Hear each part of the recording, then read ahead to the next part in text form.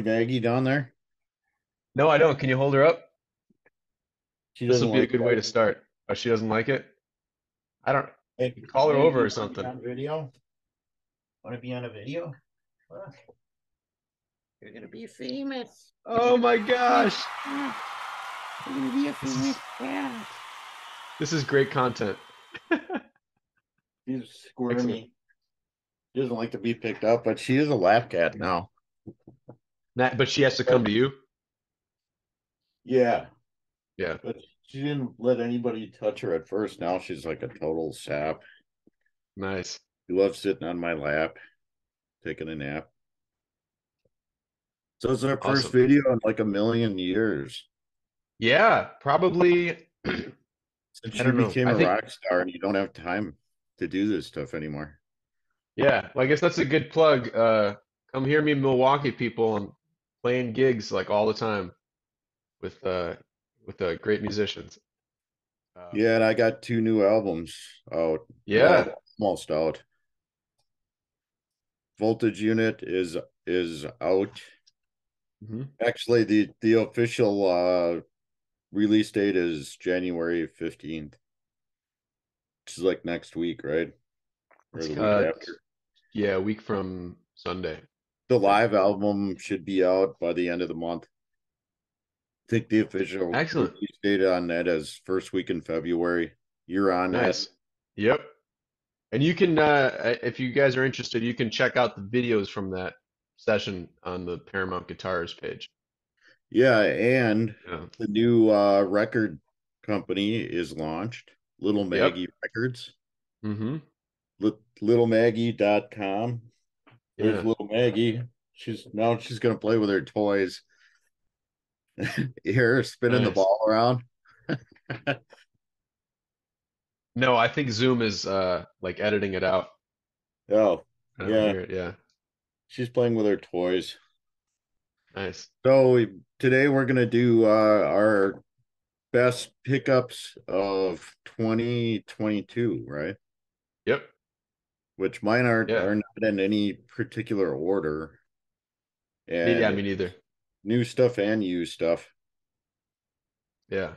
What kind of speakers do you have back there? These are I I don't even know what they're called. They're they were my grandpa's. Um, Yeah. But they're I think they're yeah, I don't know. But they they work nice. I can here I can see what they're I think they're uh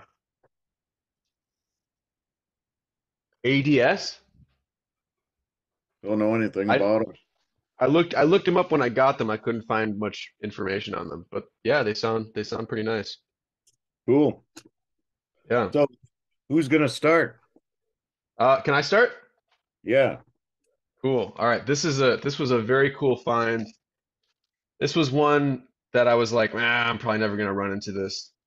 And some random Milwaukee record store, which I could remember which one it was, um, I found it. And uh, this was right when I was going through. If you've been keeping up with our videos, you, people, you know I'm a big Dave Liebman fan, and uh, he's got a lot of great solo records, but kind of the really the one that really put him on the map in the early days, um, besides On the Corner with Miles, was this one. Take it out of the Elvin Jones, Live at the Lighthouse. Open this up so you Cool. can see the full. Yeah. And um, I don't actually own that one. it's kind of a, I haven't seen it anywhere else. Like I was surprised to find it. Um, but it's one of those later, well, not later. Well, I guess you would say later. Late, it's a Blue Note record, and it's got um, the lineup is uh, Elvin Jones, obviously, Gene Perla, and then Dave Liebman and uh, Steve Grossman, who were kind of two of the really early adapters of Coltrane's um, very angular uh, sheets of sound kind of thing. So they were students of that. And um, so it's like having two young versions of Coltrane like battling each other uh, and no um, rhythmic accompaniment. It's just them just blowing their brains out nonstop. So it's uh, it's very shreddy. Uh, but if you're into that kind of thing, it's sometimes Well, I'm really in the mood for it. everything with Elvin Jones is shreddy. Yeah. Like I buy Um, anything that he's on just because I know it's going to be like solid, you know? yeah. Yeah. And so this is one of them. Um, yeah, it's a cool record. Very fun to listen to. Cool. This is actually a new uh record this year, Okay. and uh I really like it. Uh Cécile McLorin Salvant, Yeah. Ghost song, and it's it's a just a crazy record. Check out that art. Yeah. Yeah, she's a really interesting vocalist, and I've got some of her older stuff, and I really liked her older stuff, but I think she stretches a little more on this. Have you heard this? Yeah. It's it Yeah, runs it's like- gamut from experimental to almost gospely blues kind of stuff. Yeah. And some like And- musical theatery sort of things and Kinda, like yeah. old style. Yeah. she's she's a really interesting vocalist. She really pushes, you know, the the lines and Yeah. uh really good band. Um this one is the the label.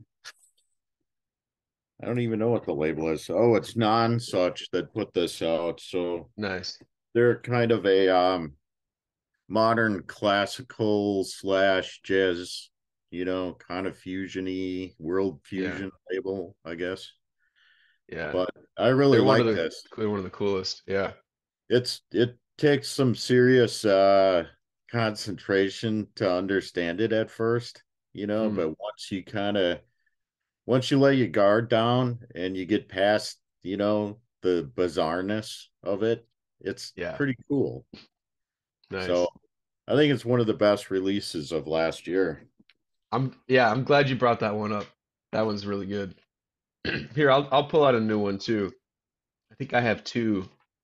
Um, this first one is from if you see the poster behind me over there, that's from uh, when uh, Julian Lage came to Madison and did a, a master class and a concert um, on tour promoting his new record, which is View with a Room, which has a I've got really killer in lineup. At, at Yeah. And this has uh so it's Julian, Bill Frisell, I think is on at least one or he's on one or two tracks on here, and Jorge Roeder and Dave King from the Bad Plus, uh, which Hold is on a a minute. really yeah. Meg, Maggie wants to go sit in the bedroom. Should I keep talking? All right. Um, and he's had a couple. I think he, he had another trio before this. Um, but this one is really nice. If you look up some live videos of them playing, him and Dave King have this incredible bromance going on. Like they never break eye contact the whole gig. Really? And uh, yeah, and it was like it didn't feel. I really loved it because uh, it didn't feel like a jazz concert. Everybody was standing up by the stage and like totally paying attention to everything that was going on. It was a very like engaged experience. And uh, for those of you who have or haven't listened to Julian Lage, it's he's a jazz kind of prodigy, but his music has a lot of Americana and country, some some bluegrass influence, um, kind of. Bill, Bill Frisell, like a modern Yeah, Bill Frisell. yeah, he, he's kind of in that vein. Um, and so this this one, some of the there's one or two compositions on here that that didn't really do it for me. Mainly, I like the way he um, interprets other other people's music. Um, but I I really love his aesthetic. And uh, yeah, so this is and this is also on Blue Note. Cool. Mm-hmm. So this one's got an interesting story. I actually just got this last um month. This lady called and she said, I want to give you some records. And I said, Well, we buy records. And she said, Well, I want to just give these to you because I want somebody who, you know, appreciates them to have them and listen to them. And I thought, oh man, this is gonna be like a a box of Herb Alpert records or you know Yeah, Lawrence Welk records. So she showed up, and half of these people that call me and say stuff like this never even show up, you know. So hmm. it was right around Christmas, and she showed up. She had her little bag or her little tote bag, and she said, I have these records for you. And I said, okay, let's see what you got. You know, if it's not stuff I can use, I'll send you up to St. Vinny's and you can drop them off. And she pulls out, you know, about 25 records.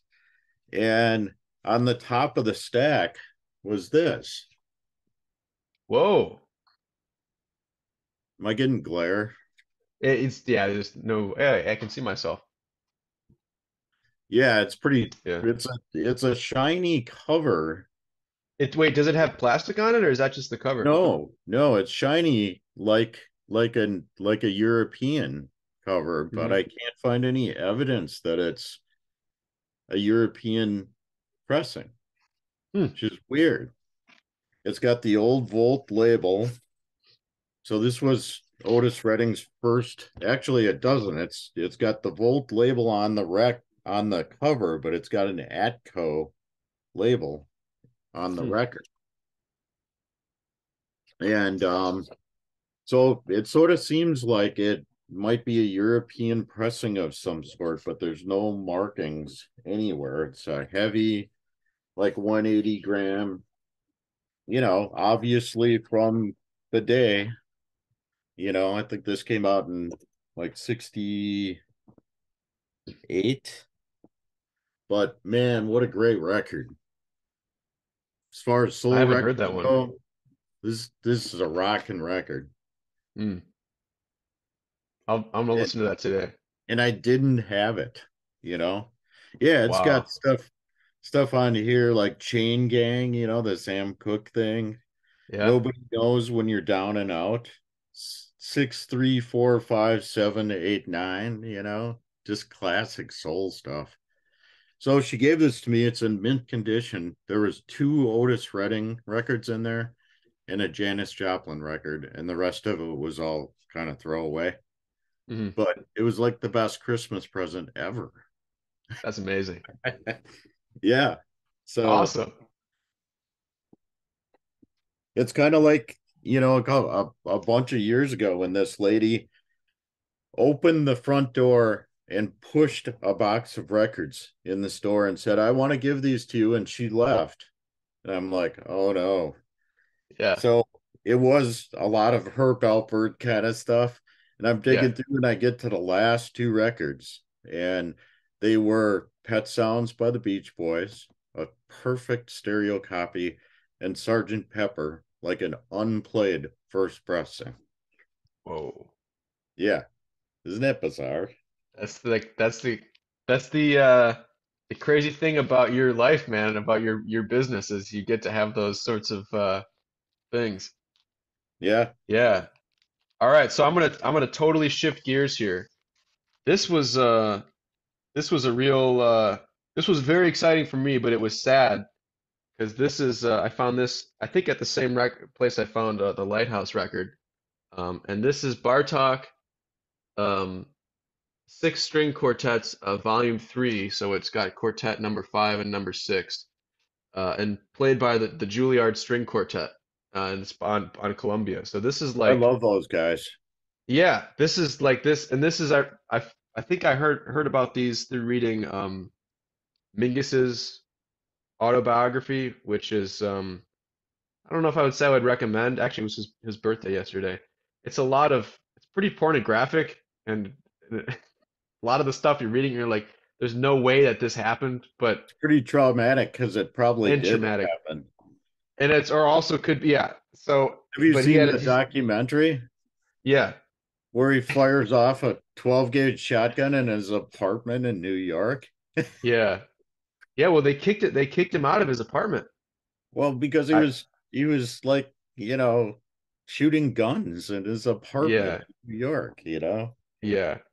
Um, but so he spent some time and at the Camarillo Sanatorium, I think you'd call it. Um, and I this I think he was listening to this while he was there, and um, I could talk for hours on Bartok because Bart like Bartok, he's a 20th century composer, very advanced, like next level harmonic stuff. But there's a really powerful humanity in his music that really uh, touches me.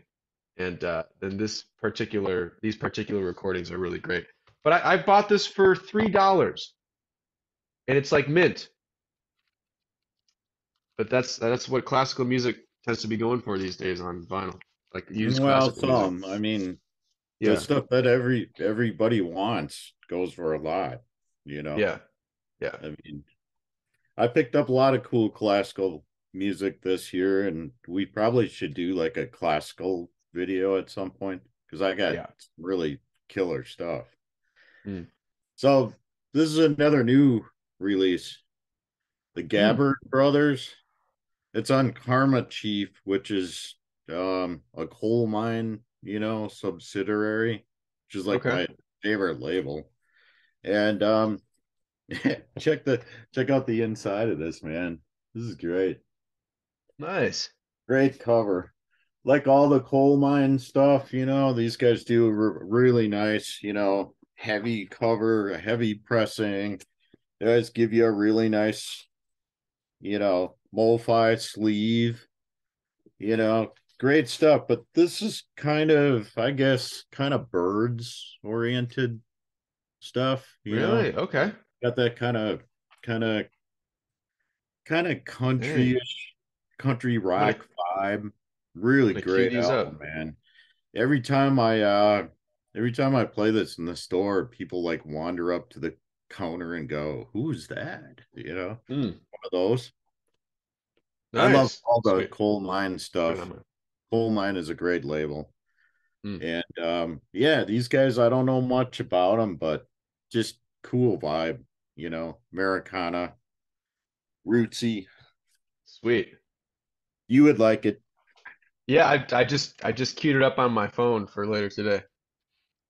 Um, all right, next up, this is a guy we've talked about. You may have shown this record yourself, but I found this uh um I went to visit a friend of mine in Michigan, uh in in our in Arbor, and uh I found an unbelievable record shop there. And uh just just had all the it was tough Which to one? leave, man. I don't know. It was it was like kind of in the downtown area. There was one that was like really lame, and then there was one I showed up, they had on the corner playing, and it was like every record you pulled back was like, oh, oh no. Ah, sh-" like it was just all the good ones. So this was one Yeah. of them. Uh, Egberto Gismonti. oh yeah And, that's a great uh, one This is a really cool record. It's love um that yeah, it's um I can't remember what the uh theme is. I think it's on uh dancing music. Um a trip through Brazilian rhythms, musical forms, and popular festivals. Um so he he's using all these traditional forms to write his original compositions over. For the first record, it's a double record set, and then the second record is him playing solo guitar and solo sanfona, which is man, his solo guitar playing is pretty terrifying because it It's sounds like four guys. Yeah. So this is this is really good. I I like pretty much everything he does, but this one in particular is is really cool. Yeah i love i love his stuff he's a great And it's ECM. Uh, too Yeah. do you know that he's he's his awesome he's an awesome pianist Yeah, and he. I think the the the group stuff is he's mostly playing piano and then he plays mostly guitar for the solo stuff on here.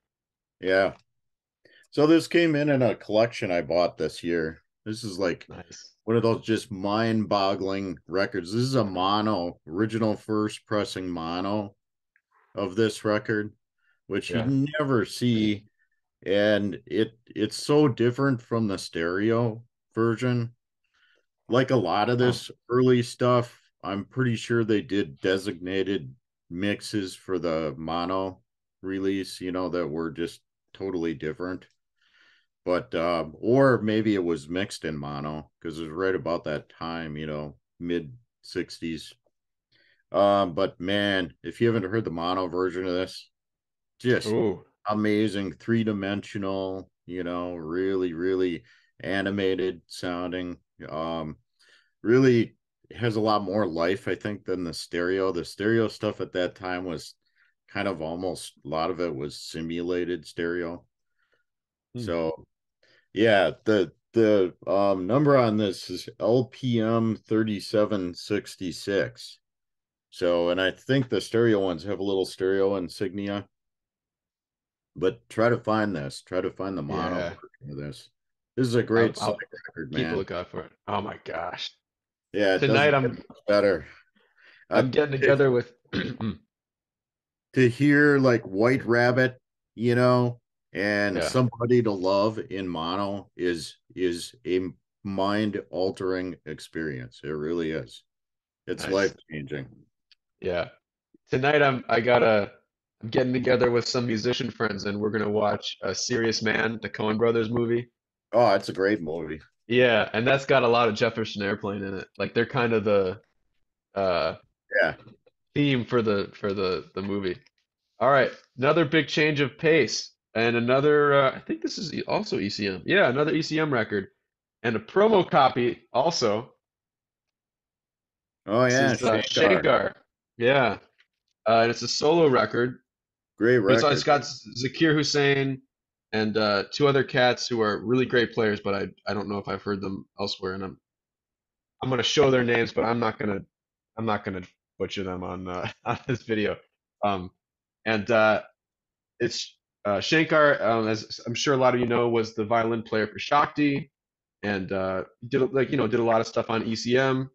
Uh, dedicated this record to John McLaughlin, and I think uh, one of those other guys might have been might have played with Shakti at one well, point. Zakir Zakir did, yeah, and I'm sure no, the I yeah mean one of probably the one of the other guys that you couldn't pronounce. Yeah, yeah, yeah. And again, I'm I'm really sorry. I should have prepped on this and practiced it because they deserve to be mentioned in this video. But um, and this and on this record, he's playing this double violin, which I'm not really sure.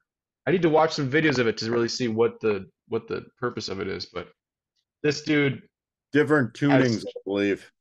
okay, yeah, this dude has chops that are. This is also another fairly shreddy record.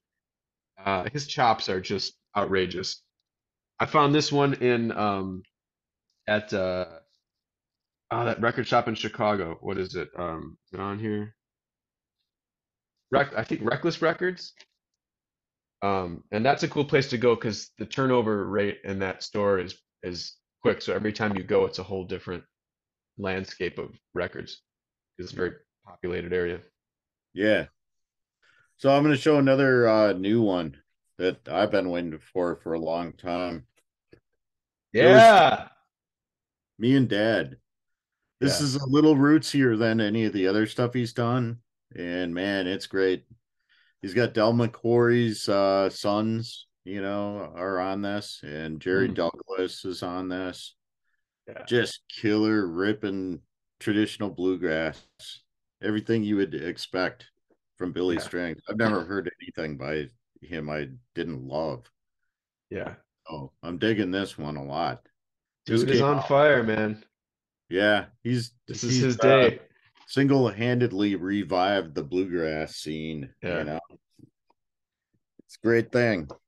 I don't know. I don't know if you would say single-handedly, but he's done more than his fair share of the heavy lifting in terms of. Well, Getting people name interested somebody else who's made a dent like he's made Well, in the last Molly. Tuttle, Sierra Hull, Yeah. you know, um, But but And, she uh, isn't she isn't selling out um you know huge costs. Right. well, he's got the jam. He's got the jam.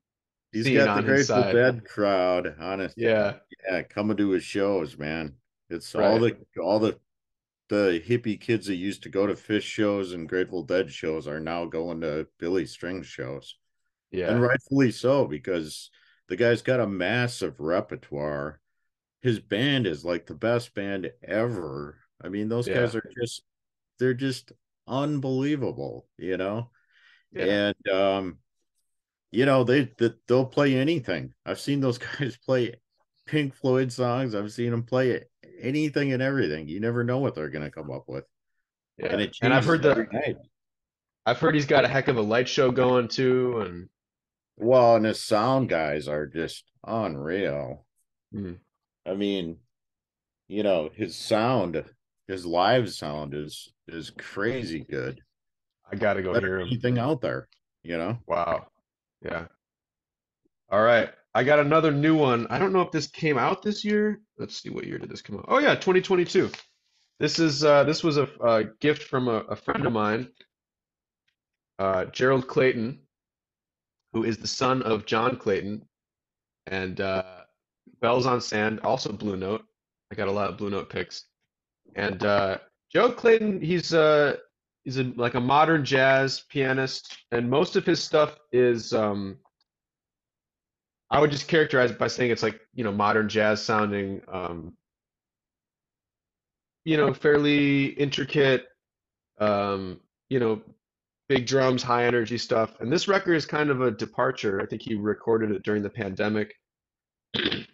And it's very like the album cover is a pretty good representation of what the music on here is like. It's a little more subdued. There's some more, I don't know, neo soul elements to it, and uh, it's a gentler kind of spacier record. I do my Tai Chi to it a lot. Uh, and Charles Lloyd is on here, and uh, Justin Brown as well. Um, and it's just really nice, uh, beautiful, um, heartfelt music. I like this one a lot. Cool. Yeah, Don't know it. yeah, yeah. I didn't know. I didn't know it either. So, um, January 1st of last year, I drove to uh Madison and an old friend of mine decided he was going to sell his record collection. And I had sold to him all of these audiophile records over the years. And uh, it was a pretty astounding collection. We call it the Less collection. And um, I picked up a couple of things from that collection. And this is a, a first pressing classic records edition of this record. The 180 gram which are considered the best of all the classic records. If you're not familiar with that company man they did all analog versions of classic records like this and just killed it. It's some of the best Mm. stuff ever. So i was able to pick up a mint condition copy of this on classic records and it's one of my favorite records so i'm going to show another another one or two from that collection too Nice. it was quite a feeding frenzy you know we had guys i had people calling me from california like a week later and i didn't even advertise any of this stuff it was crazy Yeah. Sweet. I'm gonna follow in that uh, same folk vein. I know I'm late to the party on this, but I just got into Joan Baez this year, um, in a very big way. And so I when um I went to the exclusive company, which is no longer the exclusive company, um, and they have, but Yeah. the a lot of the um, and it's the one by like the I think there's a is there a couple exclusive companies? Uh there was like there were, i think there was like eight or nine of them left and they all went under Yeah. last year Yeah, so the one by the conservatory, it's, I mean, if you go to that building, it's the same place and there, there's like the two dollar bins on the bottom. None of that moved. And uh, so they had a whole bunch of them. And I remembered that they had been there. Oh, we're gonna have to end the meeting in 10 minutes and maybe have to restart it um, because of Zoom. Uh, why is that you only get 40 minutes on uh, Zoom. So we may, just so you all folks, well, they they're gonna see an edited video. They don't even need to worry about this. Um, so anyway, so I got um got this one, which is I think her first record, and I don't, I think it's mostly, I don't know if there's any originals. It's mostly um her just doing the She didn't really do originals. standards. I Well, that's think true. She didn't. She she wrote a couple later, but she's known for you know Yeah. so Silver Silver Daggers, the really famous one. She did Wildwood Flower, John Riley, um, and man, her obviously her singing is like outstanding, but her guitar playing too is like pretty fierce. yeah Um, and I don't I don't know if people talk about her as a guitar player enough. I know there's an interview with, with Dylan where he was kind of um, talking about how much he admired her playing, but um, and she yeah she's just got that um, kind of fire and brimstone gravitas that you want when you're listening to old folk music. But she did it There we go. So last year, uh, I went to visit a old friend of mine, uh, Herb Keeneman, who was a chiropractor in Milwaukee. And um, Mm. last time I saw him, he gave me this. He said, I want you Wow. to have my copy of this. He's like, This is from the day. He's like, I loved this record. And he Yeah. died. I just found out he died a couple of months Oh, later. wow. Sorry to hear that. Yeah. So that was that was kind of cool. I, I'll Yeah. treasure that. Yeah. That Still record sitting is- out. I never never put it away. You know. Yeah. And I think she recorded that like in an auditorium with just some mic set up and everything was like first takes. Incredible record. Incredible record. So this is a weird one. You're gonna you, Okay. you're not gonna expect this from me.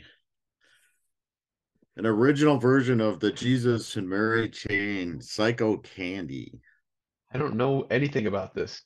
I think these guys are considered like shoegaze or, or Oh, okay. Kind of really noisy, psychedelic kind of stuff. you oh, know? Oh, far out. Okay. It's a cool record. I've always liked the record, and I had a reissue, and I was able to pick up a mint original one, and it's just, it's it's one of those uh records where, you know, it sounds like there's an industrial machine on for the entire record.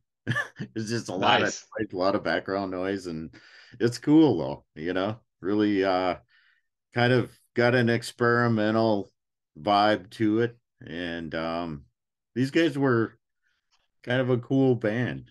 You don't hear much about them anymore, but Wow. this is kind of a valuable record, I think. You know, not a lot of original ones around.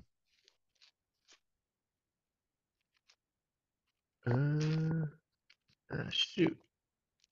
Where are you? There's one.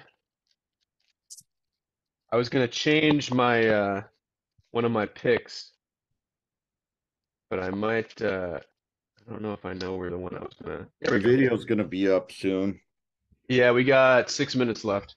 So, Okay. uh, Jack, one of my other one of my other teachers who you introduced me to, is uh, starting to downsize his collection, and uh, giving me a bunch of just random, a lot of stuff I haven't heard of or stuff that I w wasn't listening to. But the w- one thing that that like really got me hyped, um, I mean, and, and it's which is great because it's a lot of stuff that I I wouldn't be listening to otherwise, and so it's a a great education. But the one thing that I saw that I was like, oh my gosh, was uh this guy. This is Coltrane at the Village Vanguard. And another one was like was like outtakes or not outtakes, but more recordings that just did, weren't on this record. Um, and this is uh the Coltrane Quartet, you know, at their well, I don't know. They peaked the whole time. I think the Coltrane Quartet was just like one big peak in my in my opinion. But this is at their most iconic. So it's like I think it's I don't know if it's before or after Love Supreme. I think it might be before. But they're starting to stretch a little bit and and Elvin is playing really loud and Coltrane's playing some crazy shit. Is McCoy Tyner on there? Yeah. And Yeah. uh and then uh Eric Dolphy's on one of the tracks. You know, you guys know you guys know who Coltrane is. I don't need to t- I don't need to hype up Coltrane. Um but this was this was a very cool and then, you know, like you were just showing me that the the the Joan Baez record when it's from someone you care about and it's like this cool of a record and you're listening to the same grooves that they were listening to, it's a it's a very special experience. Yeah. Yeah. So this is another uh new record, but it's a reissue, obviously. Clifford Brown and Max Roach. Ooh. Study in Brown. This is on the Analog Productions.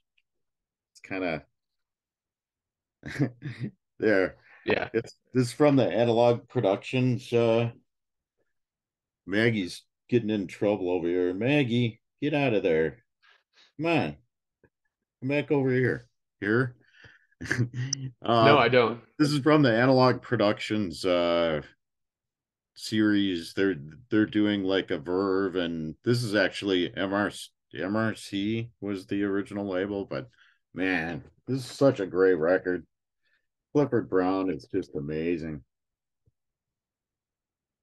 They do these with really, really heavy Stoughton Mm. and you know, really nice. Probably a I think it's either 180 or 200 gram pressing. But man, if you like Clifford Brown, or even if you want to get into Clifford Brown, this is a killer record. Mm. Great stuff. Sweet. I'm gonna uh before we go to the next one, I'm gonna shut this thing down and start up a new thing so we don't get cut off halfway through. So we'll be back with you shortly after this commercial break.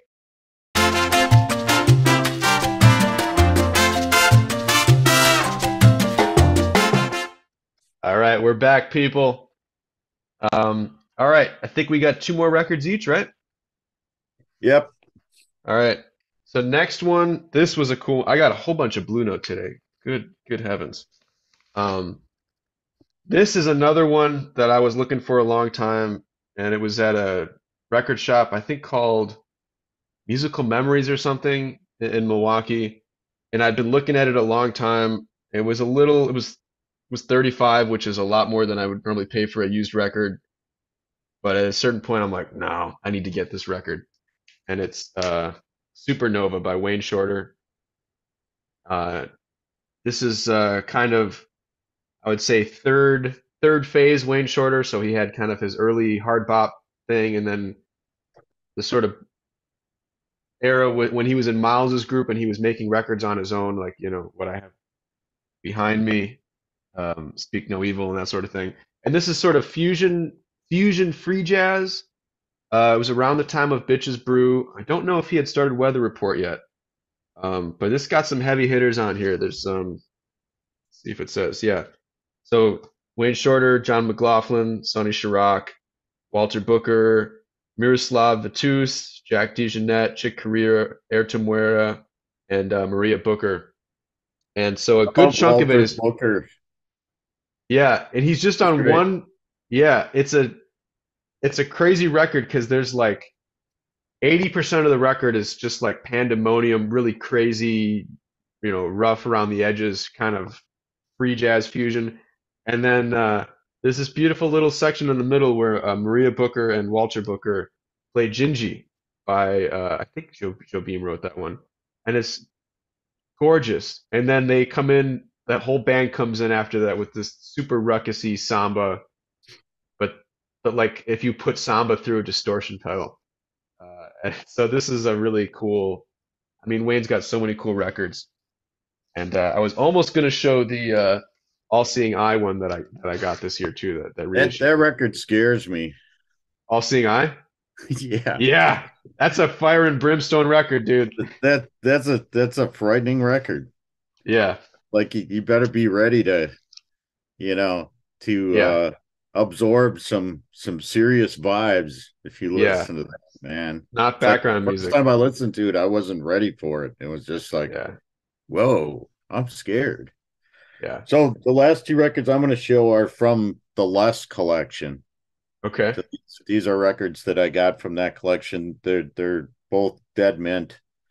Um, this is original MoFi Mm. version of Exodus by Bob Marley, which, in my opinion, is the perfect Bob Marley record. You know, it's got all of my Mhm. favorite Bob Marley songs. jamming. Three Little Birds is on here. Natural, natural music. Um, One Love. It's like this is like the best reggae record ever, Yeah. right here. Some primo stuff. And to have a first edition MoFi version of this, this this just rocks. So Nice. yeah, great record, man. This this is Sweet. from the old, you know, original MoFi stuff that truly was analog, by the way. Yeah, I guess we haven't made a video since that whole uh, scandal. No, Um, it got a little weird yeah. this year. All right. Speaking of, uh, I said uh, what Joan Baez being late to the party. Uh, this was really the year when I got heavy into Tony Rice, and uh, and I was over there for something, and you were like, you gotta pick up these Tony Rice records, and uh, I had, I got another one acoustics, which I which I like, which is cool. But this one for me, man, this is like might be my favorite record of all time. And at this Zanita. point. Yeah, Yeah. It's a good one. Incredible. And he's got uh yeah, so it's Tony Rice, he's got Jerry Douglas, Todd Phillips, Sam Bush, Ricky Skaggs is singing some vocals on here.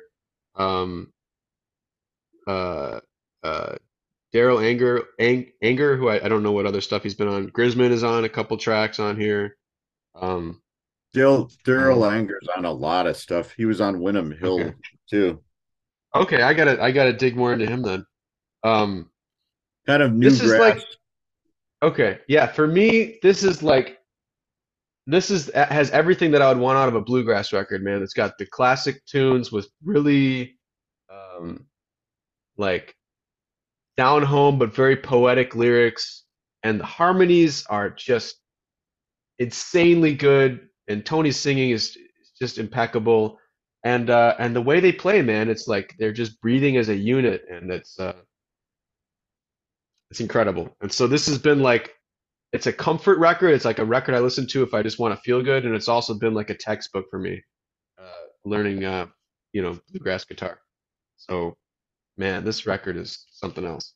So I was right when I told you to buy it. Yeah, do you want do you do I need to sign a uh sign a uh a document saying Ken Fox was correct in Well, recommending usually, that I usually when I tell you to buy something, Yeah. you really need to buy it. I mean, yeah. those records don't come up. Those Tony No. Rice records, they do not come up ever. Yeah. You know? Yeah. So that was a good opportunity, I thought, you know. Yeah. Yeah. So my last uh pick, another one from the last collection. You've heard this. What? Uh Alan Parsons, Oh. Tales of Mystery and Imagination, Edgar Allan Poe. We li- we listened to this right after I got it. Yeah. That's shiny. Um, a startling, just amazing record, especially the MoFi version like this. You know, again, this is an early MoFi. Um, this one is actually a 200 gram numbered edition, you know, kind of the middle period MoFi stuff. Hmm. And man, I I paid up for this, you know. This is one of those records like it does not come cheap, but it's worth every penny. Nice. So yeah, Sweet. it was a big year for audiophile stuff for me. Yeah. Got a lot Excellent. of audiophile stuff that I never thought I would see. Sweet. Yeah, all right. Well, those are our picks, everybody. Um, I got an honorable mention. Okay. Let me just do a quick honorable mention. Yeah. Um, this year there's there was some uh XTC reissues that came out that I I don't think were previously out on vinyl, and man, they did a great job. I think XTC is doing their own reissues. This one's called Apple Venus. Just Okay. a phenomenal pop rock record. And um there's another one called Wasp Star that they put out. Great reissues. Very Cool. high quality, just killer music, you know. So if you're into XTC, pick Mm. these up, man. They're doing all their their old records. Like they're all coming out now. And they're all audiophile versions. So Awesome. Yeah. Sweet. So, uh, of course, as we close this video, we got to let the viewers know if uh, you're seeing some of these records and you're thinking, man, I didn't, get a lot of cool records last year. I got to go get some more cool records. Or if you did get cool records and you want to get more cool records, what's one place they could go where they're guaranteed to find some uh, some good picks? Paramount Record Shop, where where you you basically have to have a guide to get into the shop these days because there's so much stuff. you know, Go like take a some of that shit home. There's a path, you know, that that gets you in, and you may never get out. You Yeah. There's there's boxes of stuff everywhere, and yeah, we just keep buying stuff, and we'll we'll keep buying stuff till they drag me out feet first, you know. and actually, Yeah. I'm considering uh maybe expanding my my uh space a bit so that we can buy even more stuff. Yeah. Cool. Yeah, so uh, we'll have the uh, hour listed here on the screen. Uh, and yeah, go go check it out if you need to get some late holiday presents or uh, you just need some more music in your life. Every time I go there, there's cool stuff.